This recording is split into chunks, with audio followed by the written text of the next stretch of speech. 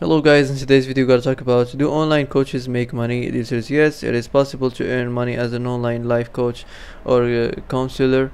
You can offer your services through online platforms or create your own website to attract clients.